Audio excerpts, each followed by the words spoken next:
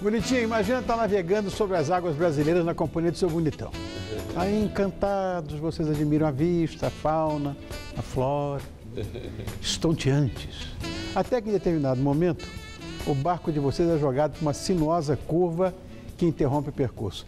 Você, seu bonitão, não consegue tirar o barco dali.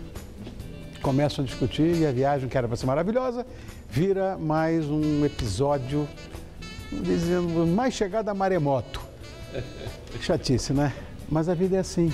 Em nossas embarcações nos deparamos com pessoas, com momentos e fases que deveriam ser chamadas de a curva do rio. Esse é o tema da nossa conversa de hoje, que terá a presença de duas referências ah, da arte, da comunicação do nosso país. O primeiro deles, fã ardoroso eu sou desse menino, Sérgio Mamberti. Olha que coisa, olha. Este menino, sou fã roxo dele. Outro é amigo, querido, é ator, é cantor, é apresentador, é multifacetado, enfim. Estou recebendo o Vande Doratioto. Oi, oi, oi. Obrigado, minhas crianças, por terem vindo. Sérgio, você e o, e o Vande, eu estava estudando antes de. a pauta do programa, antes de estar com vocês. Vocês vão fazer um projeto que eu acho maravilhoso. Ah, na verdade, vocês se reúnem com outros profissionais ah, do rádio, do teatro, da TV, do humor, para num projeto que traz de volta a radionovela. Eu, eu sou absolutamente fascinado por isso, por rádio e tudo. O que, que é a Curva do Rio? a Curva do Rio é uma tentativa aí do Romagnoli, lá no, no estúdio dele, junto com a IDP, de reviver o tempo das, no, das, das radionovelas. A minha geração, eu, quando era garoto, é, todo mundo, não tínhamos televisão ainda, e a gente via, não só as radionovelas, eu via com as empregadas, como a mãe trabalhava, era professora, mas também via aqueles, eram, eram umas séries que tinha Gin das Selvas, tinha... O Jerônimo, o herói do Jerônimo, sertão. Jerônimo, o herói do as sertão. As sensacionais aventuras do anjo. Eu via tudo isso. E à com noite... televisão, eu ainda via, eu via. É, é, porque, inclusive a televisão, muita gente da, da radionovela migrou para a televisão, não é? Principalmente na, na, na, na dramaturgia, né? Exato. E eu até já participei alguns anos atrás, assim, uma tentativa e tudo, mas eu acho que é, o Romagnoli, junto com a EDP, é, eles estão fazendo um, trabalho aí que eu acho que pode trazer de volta. Então, vários atores como o Vande, o Jairo Matos, o Norival Riz, um, um elenco muito afinado.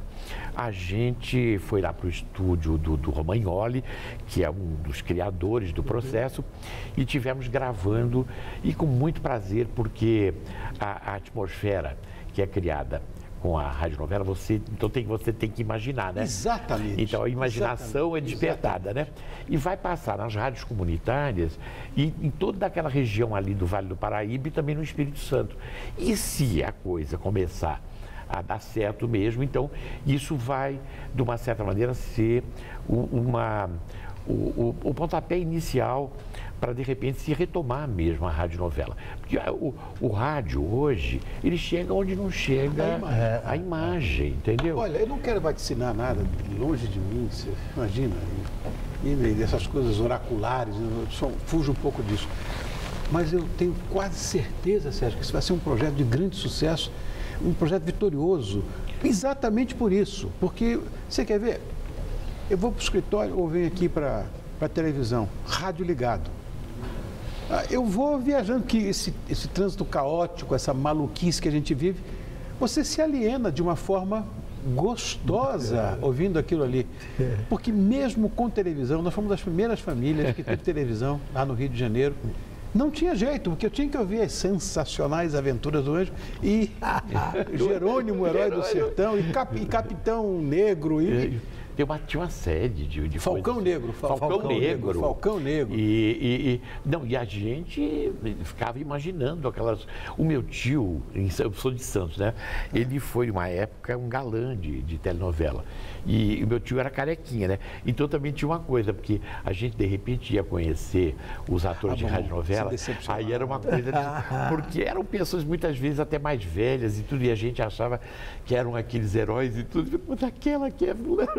Então tinha esse lado meio engraçado, assim, meio é, é, assim, pitoresco, né? Da, da, da, mas, na verdade, quando aquelas pessoas falavam, e muitas vezes até dublavam desenho, o, o desenho animado, os desenhos do Disney, né? Sim. É, a, a, a, Branca de Neve, aquele, eram todos atores de, de rádio, né? Sim. Que, que faziam. Eram cariocas, e, inclusive, carioca. a sede da, da, da Disney na época era no Rio.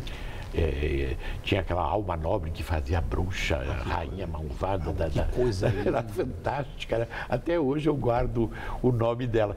Mas e, tudo isso. Mesmo nas reedições, Sérgio, hoje com Blu-ray, não sei o quê, as vozes são as mesmas. As mesmas, e engraçado. Remixaram e as vozes são as mesmas. Eu me lembro que ela falava, eu me lembro que ela falava assim, e eu, eu, vou, eu, vou, eu vou tomar essa poção e aí eu vou me transformar, ela era uma mulher bonita e se transformava naquela velha que vai oferecer a, A maçã. bruxa, é. Então ela falava assim, as minhas mãos.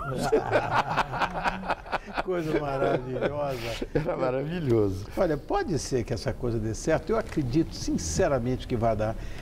A- a- até porque nós três aqui que gostamos muito de literatura, e eu sei disso, eu sou um rato de biblioteca, às vezes eu leio um livro e quando eu vejo o filme ou a peça, eu tenho aquela decepção, porque eu criei tudo aqui dentro, né? Você tem a sua concepção de direção, de tudo, de ação. De repente você vai ver dois filmes únicos. O primeiro, aquele, aquele do Mário Puzo, o Godfather, que eu achei o filme fiel ao livro, ou É, talvez até melhor. é. E um Siddhartha, do Herman Hesse, que era feito por atores indianos, mas todos com formação lá em Pinewood, na Inglaterra. Lindo, lindo. O resto foi tudo decepcionante do livro que eu li. Engraçado isso, né? Mas olha, vou dizer uma coisa para você. A, no- a gente tá, quer dizer, nós somos atores também de teatro, de televisão, de cinema, né? É, nós todos aqui, é, o Jairo Matos, o Norival, e, mas o, o que- queria que você contasse um pouco o que, que você faz, porque ele... Porque ele solta a voz também Ele na- ele na- está na ele tá na fazendo rádio toda a trilha, ele, ele, ele, de uma certa maneira, ele faz todo o comentário, ele e o Laerte Sagumor. Ah, o Entendeu? Laerte está Língua. nessa também. É. Estamos juntos. Ô, E é um Laerte, barato meu porque, querido amigo. pois é, E- e nós fazemos uma sinopse na abertura É. que já tem uma graça, o Romaelo está aqui conosco, mas é engraçado de às vezes a gente parar para falar, velho, vamos de novo tal, porque é aquela coisa caipira é, perspicaz, aquela sagacidade na, na- na forma de escrever, então ali você já fica a par do que vai rolar. E musicalmente tal. saborosa. Saboroso, é. É. E, e como disse o, o Serginho, eu, eu sou dos anos 50, e então aquela responsável a radionovela por parte da nossa afetividade, do nosso afeto, Sim, da nossa cultura. sim. Eu via, como você falou, a sua maneira, minha mãe ali costurando um negocinho, meu pai ali lendo um jornal e a rádio rolando. Isso é de uma importância vital. Hoje, se eu tenho interesse pela música, que tão, são todos juntos, o cinema, a música, não dá para separar, é devido ao rádio. Sempre que eu posso, em qualquer entrevista que falo, é que o rádio ainda é o grande barato. E a dramaturgia É. da, da, da curva do Rio não foge um pouco daqueles arquétipos clássicos, Sim, entendeu? claro. Tem a, a, A ala a- pobre, a a minha ala filha, rica, o a- bom, o mal, exatamente, o os maniqueísmo, arquétipos o todos. filho de- que é filho de alguém. Puxa, que, que. É. Eu faço um vilão aí. Ai, Sérgio. Que, que, que quer justamente derrubar uma mata para construir uma fábrica. Ai, que coisa Entendeu? E aí ele se aproveita, a filha dele está namorando um rapaz que, que se formou em, em proteção ambiental, engenheiro ambiental. Ele quer comprar o rapaz, o rapaz não se vende. Então, tem toda uma coisa. Mas aí também, todos os embates que se dão, tem, também tem uma coisa de humor e de um, um sabor nos diálogos Ai, que eu que acho que foram muito boa. bem trabalhados. Então, de uma certa maneira, a- a- a- nunca fica uma coisa pesada. Fi- Ficou uma transposição moderna, tem uma, uma linguagem de hoje, embora mantenha esses, esses arquétipos clássicos da, da Eu- eu- radionovela. Eu, eu olho para o e me lembro de Nas Ondas do Rádio. Ah, mas você falou uma coisa, era eu, eu não sei se a gente se lembra, o Nas Ondas do Rádio, até o Laertes Rumor, estávamos juntos, foi uma criação do Jaime Monjardim. No Jaiminho, fundo, amigo. pra- na, da extinta manchete, né? demais, né? Foi da É, a- Manchete. aliás, ele falava isso. Ah, teve a Cananga. Tá, Teve a Cananga do Ela Japão. lá também. Rapaz, que beleza que foi aquilo. E eh, no- nas ondas do rádio, o Jaiminho tinha um interesse de reavivar, acender uma luz na história da mãe, né, da grande Maísa. O programa, para ser muito honesto com o que rola, não teve um, não rolou no sentido, não por falta de, de, de qualidade de quem escrevia, etc e tal. É que foi uma inadequação de horário e era o rádio na televisão. Era uma coisa visionária até, né? Você tentar fazer o rádio com o seu vigor próprio, pintar pela TV. Teve umas dessintonias, mas foi uma experiência muito bacana. Também encontrei com o Jaiminho quando nós fazíamos um trabalho no Rio agora. Nós estávamos juntos até, lá o Serginho fazendo outra novela, eu fazendo a outra. E o Jaime, eu me lembrei, falei, Jaime, você se lembra quando nós fizemos juntos? Uh, aquilo era para ser tão melhor. Só como, só como registro de história que, eu falo. E a gente conhecia o Jaime como Jaiminho mesmo, porque Jaiminho, ele era Jaiminho, Jaiminho, Ele é mais novo que eu. Bom, é fácil é ser mais novo. É verdade. eu sou da década de 40. Tá vendo quem mandou na CC? É, é, é. Bom, você eu, sabe aqui que... eu tô ganhando, eu sou de 39. Aliás, hoje 44. Eu 53. Hoje, mas hoje está no, no, no, Portal Terra, está dizendo que eu, que eu tenho 85 anos. Oh, mas isso não, Sérgio. Não. não. Eu não falo, meu, me telefonaram agora. Você tem 85 anos? Eu falei, já? Ah, ah. Ô Serginho, de repente, deixa eu falar um fato prosaico e engraçado. Eu fiz aviação, eu sou um modesto pilotinho monomotor grupo A, ele já é mais. Por causa dele, do Saint-Exupéry, do Terra dos Homens. Terra dos Homens. É, porque a turma só fala é. das misses, né? É, também... o livro das misses, que é o Petit Prince. Né?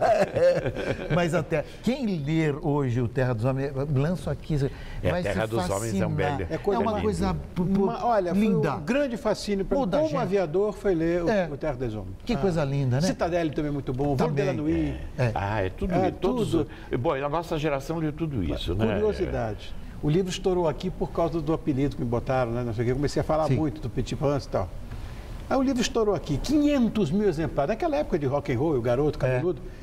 E a, a, viúva, a dona Consuelo, lá na, na editora, acho que era Galimar, ela disse, que fenômeno é esse? Não, tem um menino lá, rock Fica and roll, falando. cabelo comprido. É velho, foi você o responsável. Sabe o que ela fez? É fato. Mandou fazer na Tchecoslováquia um pequeno príncipe, de barro, de cerâmica. A roupinha dele com a espadinha ah, tudo e tal. que legal. Vande, ninguém pode encostar nesse meu pequeno príncipe que a dona Consuelo mandou para mim. Que maravilha. Está lá no lugar de destaque na minha casa. Isso é muito legal. Essa história é... Você nunca é, contou essa história. Não, nunca contei. Estou contando agora. Nunca, Fez primeira parte vez. da nossa mitologia. É verdade, é verdade. Bom, vamos para a nossa porta. Vocês trabalharam na mega produção que foi o Castelo Ratimbu. É... Ah, quer dizer, já tem uma, uma ligação de, de afetividade uh, profissional. Inclusive vai ganhar uma exposição em julho. Em julho. E está fazendo 20 anos agora. Segunda-feira, agora me é. chamaram para conversar lá no Museu da Imagem e do Som. Olha, eu vou dizer uma coisa para você. É, eu tenho quase, tenho cinquenta e tantos anos de profissão. Eu assim tenho momentos muito importantes da minha carreira. São quase, são mais de 80 peças de teatro. Meu Deus! É, 40 e tantas é, filmes, é, não sei quantas novelas, mais de 20 novelas, não sei quantos minisséries e tudo. E coisas importantes. Eu trabalhei no, no balcão do Genê com o Vitor Garcia, Olha. que foi considerado um marco. Fiz a navalha na carne do Plínio Marcos, na estreia, coisas assim mesmo. Mas eu vou dizer uma coisa para você. Assim, o personagem, eu acabei de fazer uma novela na Globo. Isso foi um sucesso, que foi o, a, o Flor do Caribe. Flor do Caribe. Fazia o Dionísio, que era um personagem muito forte. forte. A primeira, pessoa, a primeira coisa que as pessoas é. falam assim, você é. fez parte da minha vida. O tio Vitor é uma marca nacional é, é de várias gerações. E você quer que eu é corrobore é essa tua sensação, Serginho? Emocionante, a coisa mais importante é muito que eu forte. já fiz. Todo... Porque eu formei brasileiros, é. entendeu? Os Capim que estava aqui outro dia. É. Presta atenção, meu filho estava aqui, o meu, que, o meu mais novo, 26, 27 anos, perdeu a fala. Que bacana. A memória afetiva era tão é, é, forte. É, é, desse nível. É isso que, mesmo. Absurdo. O caso do tio Vitor é o mesmo. É mesmo. Não é? É fato. E antes do castelo ainda teve o Ratimbum só também. Que Aquilo era bacana. Ah, que foi o que abriu o primeiro caminho. Pois é, isso. o Marcelo é amigo meu, disse que tem um blog. Eu tenho medo do professor é, Todo mundo tinha medo dele. Do professor Tio Ele fala, blog, O Tasso fala isso. Tá? E o grande trunfo, entre outros que estão aí explícitos, eu acho, é que, por exemplo, não se tripudiava com a inteligência do jovem. Sim. Não precisava ser aquele Pelo caramba de contrário, chata. é um respeito, Respeito absoluto. respeito absoluto à Sem di- cidadania da criança. É isso, isso. E sem didática alguma, é. esse, meu- esse mesmo filho que eu estou falando, ele foi alfabetizado. Ele foi alfabetizado pelo Ratimbum. Um dia escreveu uma frase e me entregou. Uma letra que não Legal, entendia. hein? Que legal. Eu vou te contar uma Olha que coisa. coisa Meu filho linda. também Eu, uma tem vez, 30 anos. eu estava na Praça da República e tinha aqueles meninos de rua ali que, que cheiram Sim. cola.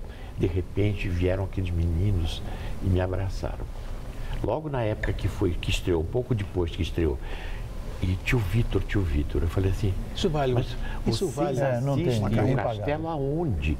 Ele falou assim, a gente vê através da vitrine das lojas. Isso vale Olha, hein? uma Isso é carreira. bonito, hein, velho? Olha, Isso vale uma, uma carreira, Bacana. extraordinária. Isso vale uma carreira. E sabe o que eu costumo brincar, falar sério? Eu vou ao paroxismo rapidamente. Você coloca músicas sem julgamento, que a estética é complicada. Você coloca só músicas, às vezes, muito triviais, muito simples, sem profundidade alguma. Se você colocasse o Arrigo Barnabé e Tamara Assunção, eu estou indo a um paroxismo só para Tá, gente. tá. Para pessoas normais que trabalham conosco em casa, pessoas primas do interior, elas ouvindo aquilo também sentiriam a profundidade e a grandeza. É que não se coloca achando que o, o- o superficial, eh, o horizontalizado é que vai Não bater. isso. Velho, isso aí tem um fim rápido E olha, em si. eu vou dizer Acaba. uma coisa. É efêmero. É, Efêmero. TV Cultura, não é Globo. Sim. Entendeu? Então, o poder, a qualidade, Exatamente. de repente ultrapassa Exatamente. É. o poder de uma É. grande emissora que é a Globo. Você Entendeu? vê, a gente está aqui porque tem esse clichêzão, recordar é viver, mas é, eu estou vivendo de novo tudo. Passando esses filmes todos na minha cabeça. E o espetáculo que, que vocês, que vocês pretendem agora, atuam em sua especialidade, É, né? Enfim, essa história da curva do rio me faz lembrar daquela, daquela expressão que era usada pelos pescadores, que a lama ou o lixo ficam sempre parados na curva do rio. Exatamente. É engraçado isso, né? Que é muito utilizado para designar alguém mala. Eu- eu- Tem outros É tipos. mesmo, é mesmo. O cara é curva de rio. Tranqueira. É curva de rio. curva de rio. É, é, é sério. Olha, Qual é a pessoa mais curva de rio que vocês conheceram? Ei, Jesus. olha, eu vou dar um exemplo. Tá. Eu, eu fiz agora recentemente com a, com a Fernanda é, o, o doce de mãe. Eu também fiz, olha que bom. É, nós fizemos juntos. Foi. Que Lindo O. Jorge Furtado é uma É uma maravilha, a gente fala daqui a pouco. Tá. E o personagem que eu fiz era um personagem curva do rio, porque era o Chatonildo, entendeu? Então a Fernanda, ela, ela não consegue provar que ela está viva, então ela resolve fazer um, o Aquilo é velório dela. E aí ela resolve chamar o Chatonildo porque ela tinha um complexo de culpa, porque ela chamou ele, e ela deu esse apelido dele porque ele era chato, entendeu? Ela falou assim, é o Chatonildo e tal. Ela falou assim, eu marquei a vida desse homem de uma forma negativa e tal. Aí ele chega. E ela fala assim, Chatonildo, ele, "Oh, você está viva, custa, não sei mais o que. é." Ele vai cumprimentar ela, tem uma coisinha de, de, de dar Ah, choque. é, aqui. choque. Você é fazia esse personagem, obrigado. Ela, "Ai, mas você continua, Chatonildo. Cê- Ela fala é. assim, desculpe, mas... eu-" Aí eu falo assim, não, mas eu adoro que você me... Porque eu encontrei a minha identidade, eu sou o Chatonildo. Ele, ele, ele assume e fica o- realmente essa curva do rio na casa ali, que é uma coisa fantástica, né? É a- Teve, quem foi a curva de rio na tua vida? Olha, eu, vou- eu vou, eu vou até na cola, não é querer Obrigado, morder e assoprar, mas como diria outro, são, são tantos assim. Às vezes você vê um de um ascensorista que acha que, eu estou lembrando de, um- uma bobagem aqui, que acha que sabe tudo. E Ah, sabe, sim. aquela, é aquelas Ei. pessoas que têm a resposta pronta para tudo, não tem dialética, né?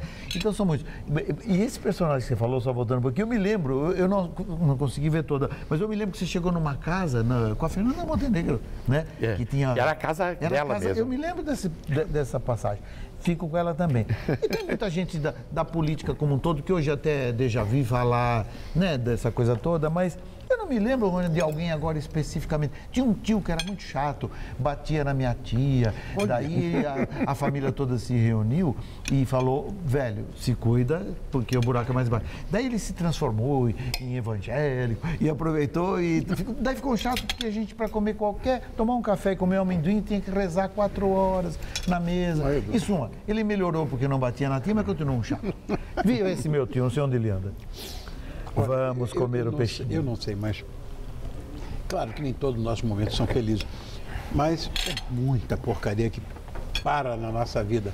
Pessoal de Curva de Rio. Mas são fundamentais para a gente seguir o curso do Rio. Exatamente, para a gente discernir, ver Exatamente. aquilo que realmente. referência. Exatamente. E às vezes, Rony, há pessoas que têm uma bondade, um jeito, só que só conflui e tal, mas não é. Então, esse outro lado também, porque somos todos iguais, né? Todo mundo almeja a mesma coisa e tal. Somos todos iguais. Então, a gente treina um lado mais doce. Até dizia um filósofo que nós devemos procurar um conceito como o abacaxi, que é doce até o, o caninho dele dentro. É doce. Você pode se transformar num fulano doce com atitudes X, né? E pode se tornar um crápula, como a história mostra aí. Mas eu acho que estão todos dentro de nós mesmos. Então você falou bem desse personagem, feito pelo Sérgio, que é uma pessoa nobre, notável E fez doce. um, pe- e, é dulcíssima. E fez um personagem que passava essa coisa, um puta chato. Olha, você sabe que essa expressão de Curva do Rio foi parar na, na, na Câmara do Rio Preto, né? De, aqui em São José do Rio Preto. Que os vereadores lá adoram uma pescaria, toda É, aquela coisa. é. E um deles, outro dia, foi vaiado quando ele chamou a plateia de Curva do Rio. Olha, então essa expressão, eu tinha me esquecido É claro. dessa expressão, bicho. Agora, é, não sei se. A nossa vida é cheia de, de meandros mesmo, e tem, tá cheia de curva de rio.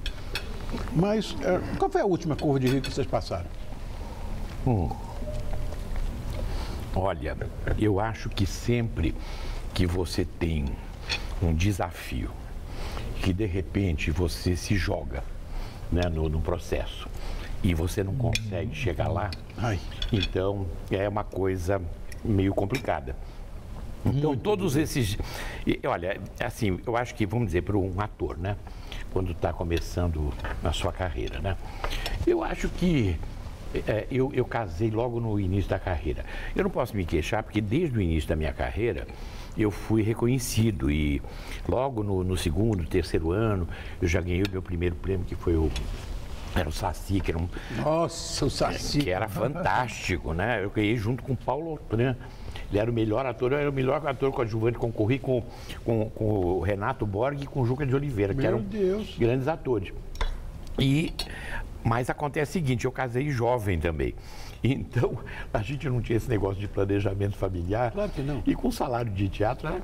Então, os momentos curva do Rio que eu passei para poder realmente enfrentar aluguel, eh, eh, as contas, as dificuldades todas que você passa né, nessa fase de carreira e que eh, você tem essa, esse, essa possibilidade, vamos dizer, de você ver até do outro lado da curva, uma possibilidade de um horizonte, né? Mas eh, o, o por exemplo, o Wilker, quando eu cheguei no Rio de Janeiro, eu estava contratado. E o Wilker, eh, nós estávamos todos saindo, vamos dizer, de uma certa maneira, para o Rio de Janeiro, um pouco de- depois do golpe de 64. E todo mundo tinha tido uma participação política. E eu cheguei no Rio de Janeiro, a gente foi com uma, uma produção e o Wilker estava vindo do movimento de cultura popular. E ele estava no momento curva do Rio total. E eu, naquele momento, eu tinha emprego.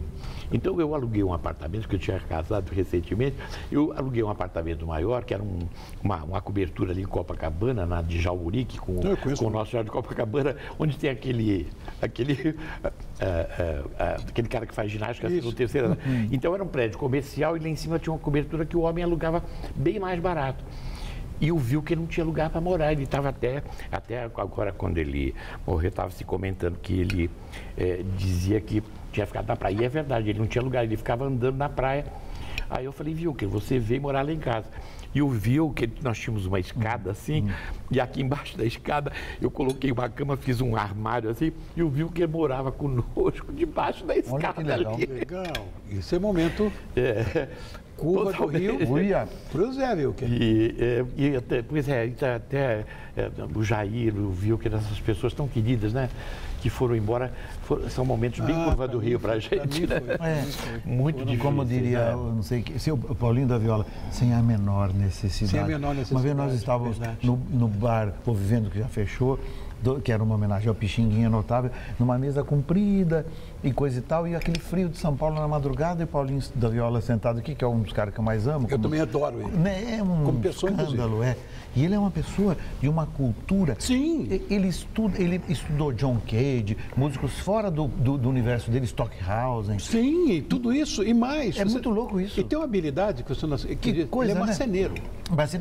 Aqueles cavaquinhos que ele toca, ele quem faz, e co- leciona carros antigos. Olha que coisa engraçada. Minha grande paixão é essa. É, é, você Carro também. antigo, é. Agora você vê, se você encomendar uma peça de marcenaria, de- de marcenaria de primeira grandeza, tipo aquelas que eram feitas no Liceu de Arte e Ofício, encomendar para o Paulinho, ele faz. Ele faz. É o hobby dele. Demora quatro anos, mas ele Ah, faz. sim, sim. Não cobre Tem- do não escorpião. cobra. Ele é escorpião, ele não É, pode cobrar. Não cobra, É. não cobra.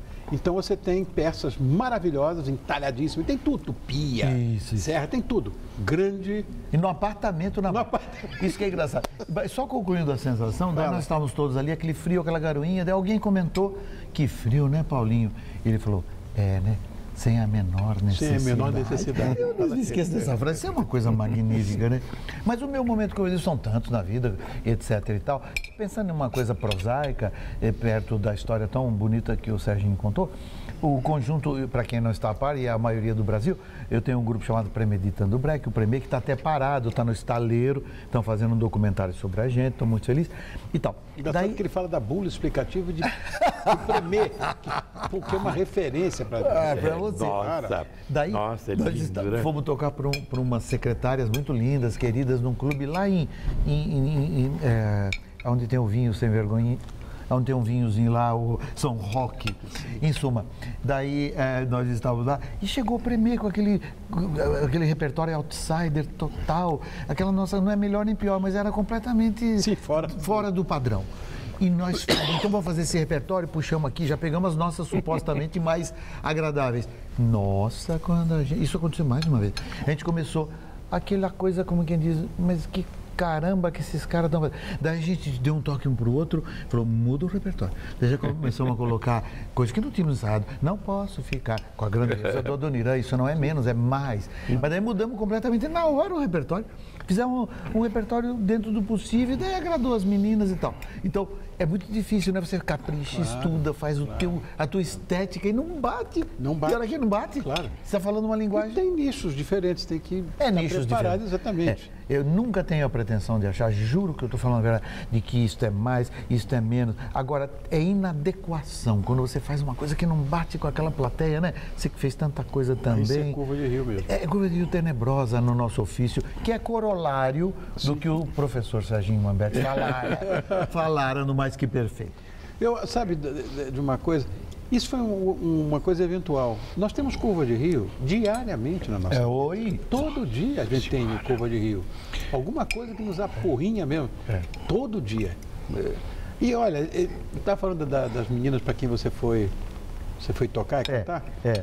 Tem muita bonitinha por aí que apesar de belas curvas, não do Rio, mas que apesar É. de belas curvas, aquela sinuosidade que nos agrada, não tem critério algum para escolher namorado. Hoje a coisa mudou. E é por isso que elas mesmas são curva de Rio, na minha visão. O que será que, que acontece? Eu conheço umas amigas mas, assim, de primeiríssima ordem, já com uma certa idade e tudo, mas impecável. Só atrai, tem assim, um maracanã lotado de homens em ordem. Ela pinça aquele que O é para menos você é jogar. vero. Tem pessoas que têm esse Que talento. coisa engraçada, né? É talento isso, pô. É talento. É talento, né? Val- Valdomiro, né, que você falou? É. Que o Valdomiro, aliás, fez um, uma comida nobre. Mas ele é, um uma alimento delícia, nobre. viu? É sensacional, nosso Muito parceiro. Obrigado, querido. obrigado nosso. E ele veio falando no caminho os peixes adequados até para churrasco, mas esse é outro assunto.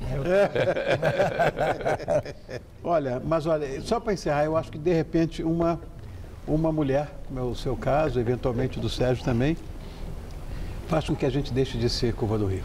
É fato. É fato. E a, a minha, que ela, ela, ela adora você, não estou falando porque eu estou aqui, Jesus. Aliás, o que ela te am- amava quando mocinha, ela não, não tinha Jovem Guarda, tinha, ela tinha o Rony. Então tá falado aqui, ela sabe que eu estou falando, mas por verdade, é a minha mulher Mara. Mas Mara, Vero, um beijo, meu amor. Aí ela vai, pronto, agora estragou, ela vai Beijo, Mara, um beijo.